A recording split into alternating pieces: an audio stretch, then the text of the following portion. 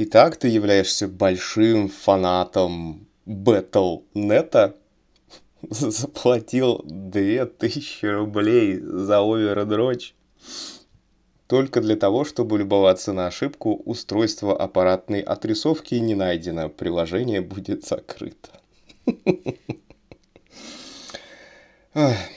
Значит, сначала определяемся с тем, какой у тебя адаптер дисплея, то есть видеокарта. Если у тебя Амуде, а хуже Амуде только два Амуде, то есть ноутбук со встроенной графикой, у которого обе видеокарты фирмы Амуде, блядь, то такой ноутбук проще выкинуть нахуй в окно, чем заставить его работать. Можно, конечно, поковыряться в настройках Crimson, или как там это поебень называется. Можно подумать, если каталист переименовать в Crimson, то Амуде станут хорошими видеокартами, сука. Вы только посмотрите, какую поебень они нарисовали. Как вообще можно вот такие интерфейсы делать?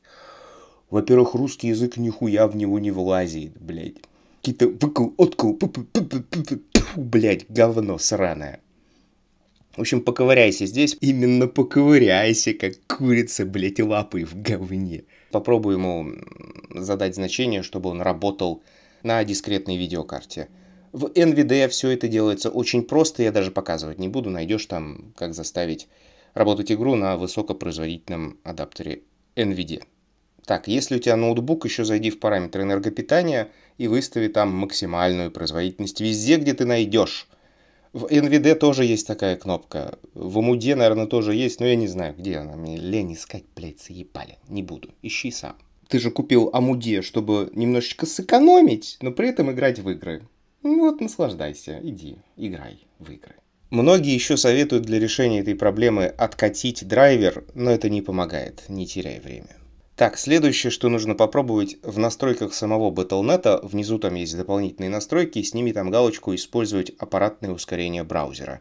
Я не знаю, как, но говна Blizzard или кто там делает эту парашу, даже, сука, этот момент не могут нормально запрограммировать, но при этом не стесняются за свое говно брать 2000 рублей, блядь. Короче, снимай галочку и пробуй, скорее всего, станет полегче. Если полегче не стало, то в настройках игры – отключи локальные отражения. Если это все не помогло, то в общем-то осталось еще только два путю.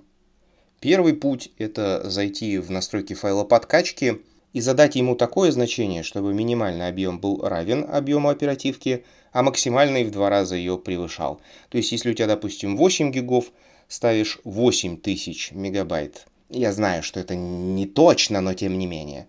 8000 мегабайт начальный размер, то есть минимальный размер – и максимальный размер, соответственно, 16 тысяч, то есть в два раза больше. Сохраняешь это все, перезагружаешь и пробуешь.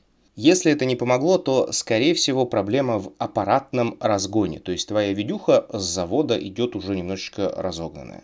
И вот эта вот ошибка устройства аппаратной отрисовки не найдена, это аналог известной ошибки «Видеодрайвер охуел и был восстановлен». Известная многим ошибка. В общем, для понижения частоты нужно скачать утилиту MSI Afterburner, даже если производитель твоей видеокарты или ноутбука не MSI. Неважно, кто у тебя производитель и неважно, какой чип, AMD или NVIDIA. Короче, в этой утилите MCI Afterburner. Блять, да почему же я все время говорю MCI? MSI. S как в слове жопа. Для начала тебе нужно понизить частоту чипа.